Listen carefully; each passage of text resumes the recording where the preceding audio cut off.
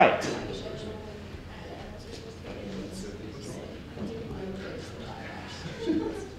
I'm sensing that you guys are struggling with this paper. Okay. What is the cause of the struggle? Not understanding what it's saying. Okay, not understanding what it says. Why are you not understanding what it says? Because my reading level. It's a really easy answer. Well, the format's different. It's just it's just altered the way things are presented. The the methods come at the end, et cetera, et cetera, et cetera. But what's the fundamental difference? You haven't taken the class that talks about this stuff. This is the kind of stuff that you'll talk about in some molecular biology, which isn't this fall, it's next fall, if you're still a biology major then. And so, one of the misconceptions that people get, I think, is that you don't have to know all fields of biology in order to make sense of biology. Well, the fact of the matter is, is you guys know some things about ecology and evolution, and you guys don't know squat about cell molecular biology.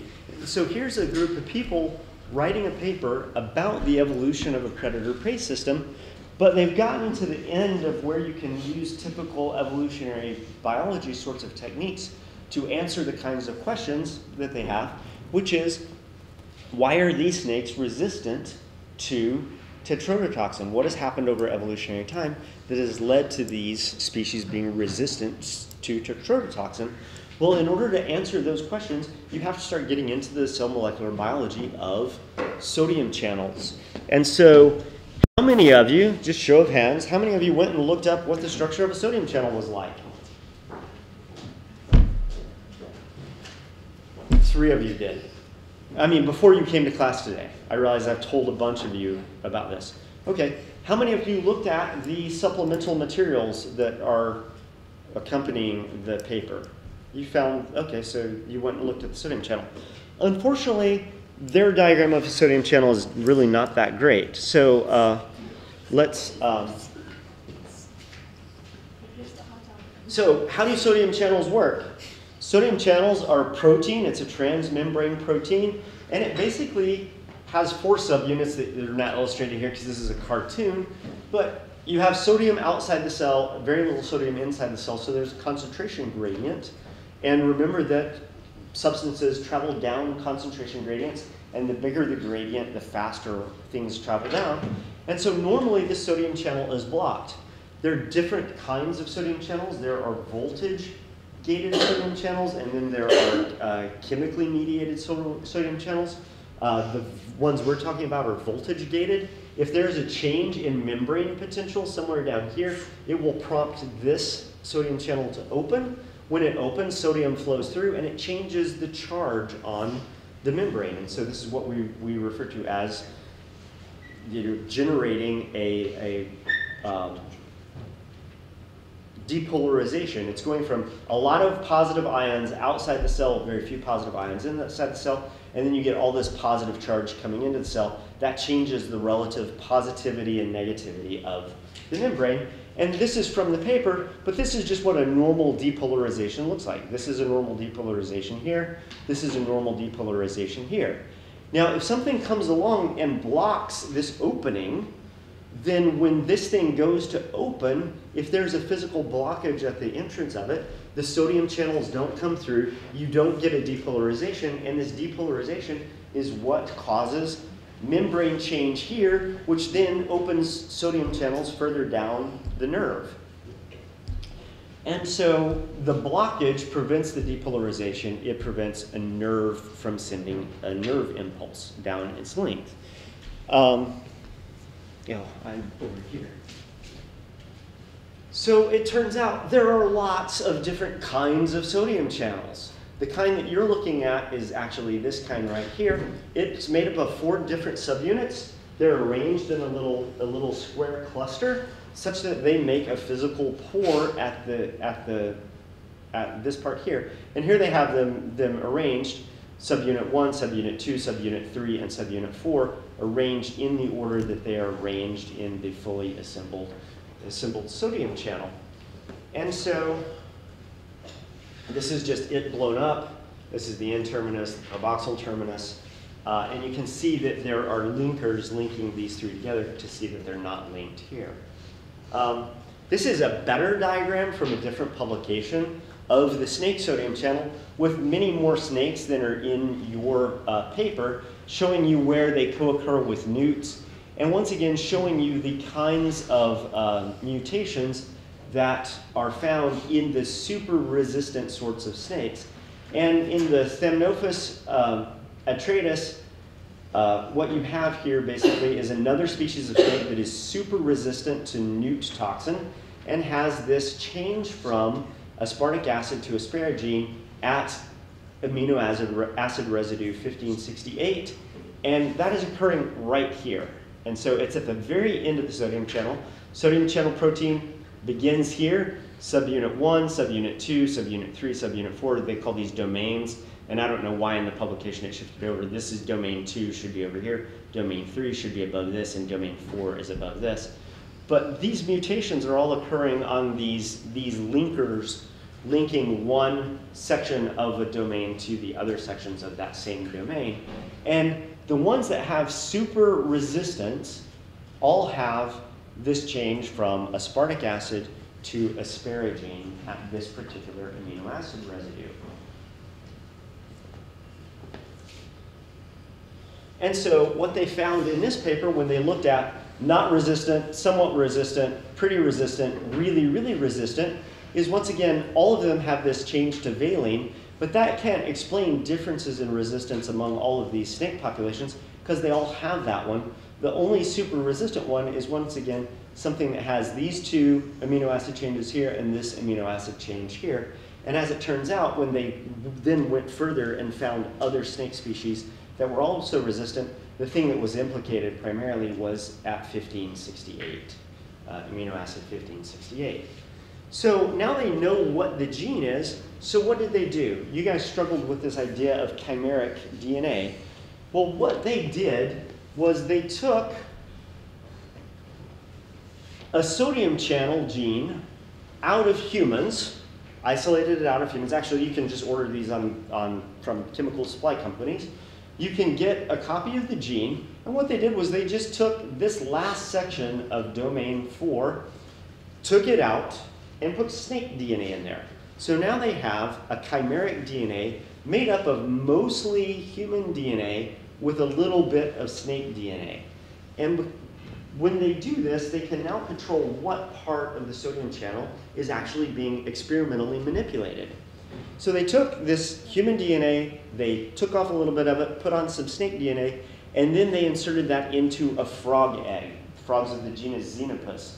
The nice thing about frog eggs of the genus Xenopus is that they, um, they're embedded in the back of the female for incubation. Uh, she produces a lot of skin and, that grows up and around the eggs and, and nourishes them. But the other thing about them is they're big. They're big enough that you can play around with them. And so they used a method called patch clamping that allows them to measure the membrane potential on membrane, the charge on membrane. And so they took the human snake chimeric DNA. The chimeric DNA was made up of snake DNA from each of these populations of snakes. And then those frog eggs built sodium channels. And they built sodium channels that were mainly sodium channels built from human DNA, but then the last little bit was built from snake DNA, the part that is variable. And so they used the frog eggs to express sodium channels, and then they tested to see whether or not those sodium channels were resistant to tetrodotoxin. Isaac. So why is human DNA involved in, in the mix? Because they, they, they showed that there's no real difference between the two? Is it just, it's easier to handle? Nope, it's just a control so that if they missed something further upstream. So, so remember also that they used reverse transcription.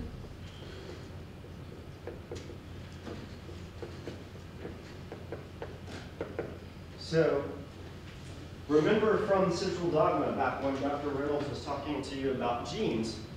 central dogma basically begins with DNA. DNA is transcribed to messenger RNA in this case, and then that messenger RNA is translated, whoa, translated into a protein.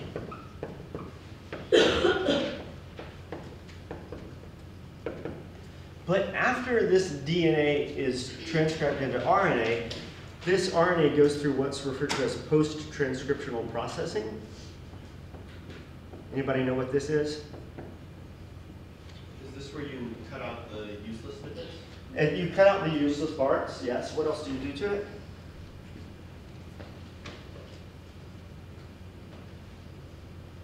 Things are attached at the end. Yep, you add a poly A tail.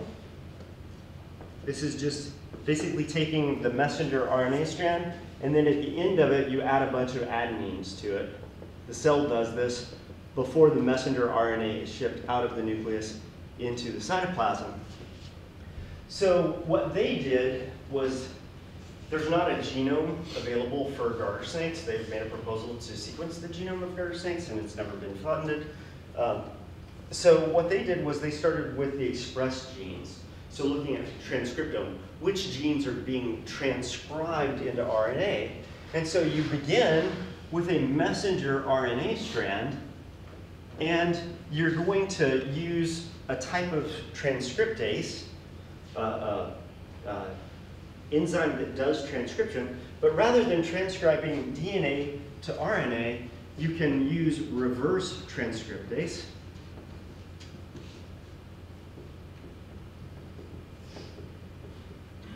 To transform RNA back into DNA. That's what cDNA is, is DNA that has been formed from the reverse transcription of RNA. And anytime you're transcribing using, using a PCR machine, anytime you're transcribing DNA into more DNA or DNA into RNA or RNA back into DNA, you need a primer. And the primers that you use for reverse transcription are primers that just have a bunch of thymines here. And so you begin at the end of the gene and you go backwards on the gene. So when the genes that, that code for this sodium channel are expressed, it starts here and goes this way. It's all linear. And so in the messenger RNA, the poly A tail would have been down here. And so when you do reverse transcription, you start at this end and go backwards. And because sequencing isn't very efficient in many cases, you don't have thousands and thousands of, of, um, of nucleotides that get sequenced. You only have maybe 500. And so you're not actually getting a cDNA fragment that has all of this. You're getting a cDNA fragment that maybe only has one or two domains worth of, of, of cDNA. And so they used human DNA in case some parts that didn't get transcribed through reverse transcription, if there are changes in here, they wouldn't know about them. They only know about the changes in the latter part of the molecule because of the way in which they went about getting their cDNA. So um, they added human DNA because we do know what the structure of sodium channels are in human DNA. And so that was constant from one, one frog egg to another frog egg. And so the only thing that they were changing was this little bit at the very end. Does that help? Does that make sense? Okay. So they're not just trying to be freaky Frankenstein sort of scientists. They actually have an actual reason for, for doing this. So they took human DNA, combined it with snake DNA, and stuck it in a frog. And then the frog egg generated the altered sodium channels so that they could then test the effect of tetrodotoxin. And the way they did this was by um, looking at the difference in the, the blockage of sodium channels and the blockage of current generation in situations where there were, um, in this case, uh, snake DNA versus chimeric DNA to show that making chimeric DNA doesn't really matter. when you put snake DNA, a full snake DNA in there, it behaves essentially the same as a human snake chimera. So then they just went ahead with the human snake chimeras and illustrated that the chimeric channels that they generated expressed the same kinds of resistance that they see in, in, um, in nature, such that the amount of tetrodotoxin required to block 50% of the channels basically goes up as you go from Bear Lake to Warrenton, sorry, Bear Lake to Warrenton to Benton to Willow Creek. Willow Creek requires a lot of tetrodotoxin to block 50% of the channels. And then this is just looking at Willow Creek, showing what the effect of the residue at 1561, that uh, change from, from isoleucine to leucine, only results in a doubling of concentration required to block 50%. So it doesn't account for this gigantic difference between, for example, Willow Creek and Benton. And then this is just showing the actual depolarization curve for um, the Bear Lake population without tetrodotoxin present, which looks like just a normal depolarization wave. But this is it when it's subjected to a certain concentration, which is down here somewhere, 100 nanomolar of TTX. And it's basically effectively shut down that, those sodium channels to the point that it can't generate a, a change in membrane charge. However, here it looks like it's all a red line, but if you blow it up on your, on your PDF reader, it's a black line and a red line. The black line is the normal depolarization. The red line is the depolarization under 100 nanomolar tetrodotoxin, and this is for Willow Creek. And you see that the depolarization hasn't changed at all. And so a concentration of tetrodotoxin that basically shuts down sodium channels at Bear Lake doesn't have any effect on sodium channels at Willow Creek. And so then this is just a diagram showing how skeletal muscle behaves under varying concentrations of, of tetrodotoxin versus how the cloned channels do. And you see that there's a pretty good correlation. The cloned channels in the egg respond kind of like how whole organism performance changes when you're looking at skeletal muscle. And so they're basically saying that the important part of the sodium channel that matters is this part at the end, and they're also claiming that it's this one residue right here going from aspartic acid to asparagine. What do you guys know about amino acids?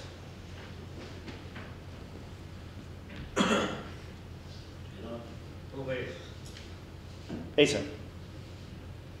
A lot. What, what do you know? What can you tell me about amino acids?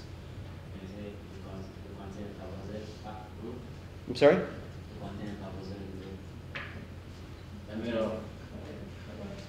Okay, so they, they have they have a constant a constant structure, and then there's one side chain that varies from one amino acid to another.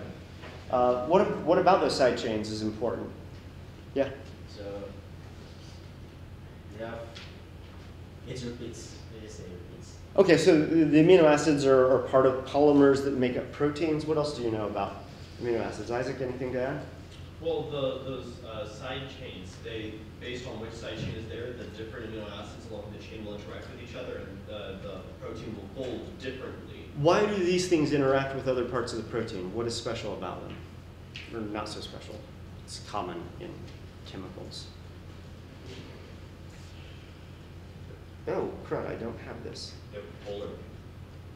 Okay, they have charges. Uh, hold on, I messed up. No, no, don't go there. Or wait, maybe I do have it. Oh, come on, really?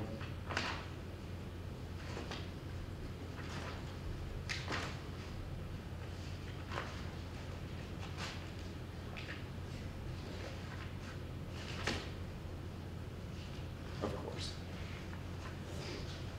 No, not there.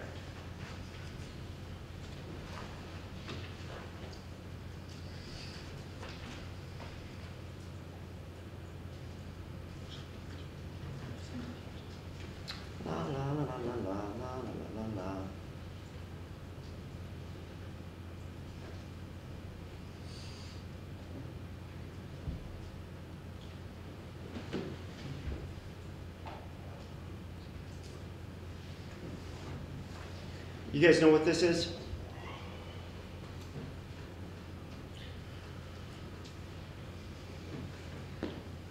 Isaac? Uh, the translation between the, the amino acid and nucleic acid, uh, Okay, so when you're when you're transcribing DNA into RNA, you get an RNA code, and then that RNA code gets translated into proteins, but that translation is done by three unit codes called codons. So this is basically a codon chart, and it's basically showing the different kinds of of um, sequences that lead to different kinds of amino acids being coded for. This is aspartic acid. This is asparagine. So to go from aspartic acid to asparagine, the only thing you actually have to change, this is adenine, adenine, uracil, adenine, adenine, cytosine. This is guanosine, adenine, uracil, and guanosine, adenine, cytosine. So you're just trading out an adenine for a guanine, and these are the same type of amino acids. They are pyrimidines. And so this is what is known as a transition mutation, and it's the most common kind of single nucleotide poly- polymorphism. So all you have to do is change one nucleotide to get from aspartic acid to asparagine. Well, why is this important?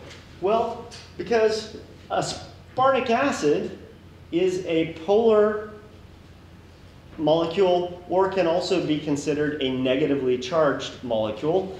And asparagine is a positively charged molecule based on, once again, the structure of the side chain. So this is the, this is the mutation going from this to that. Polar or negative to positive, so it's changing the charge. When you look at tetrodotoxin, what do you notice about the structure of the molecule?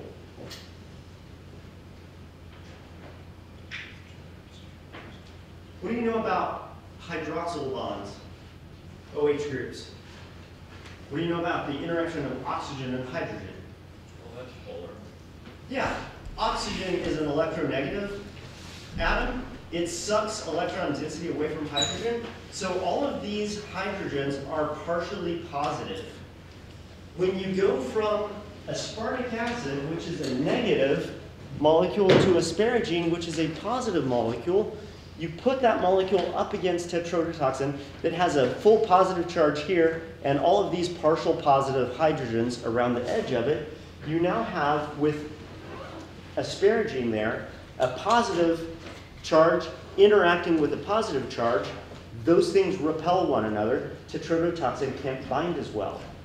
With aspartic acid, which is what you have in non-resistant snakes, you have a negative charge interacting with this positive charge. You get strong binding there.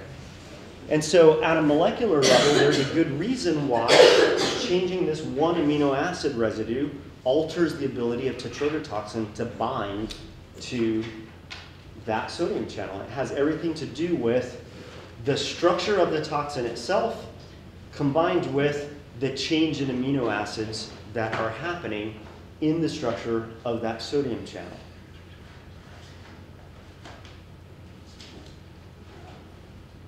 I'm an ecologist. Guess what? I have to know a certain amount about physiology and cell molecular biology to do my job. Questions? Does this make sense to you? We're going to revisit this some more on Friday because they're going to talk about the interaction between the newt and the snake and why one of them seems to be evolving faster than the other. I've given you some information today that will hopefully help you with that paper as well. Bye bye.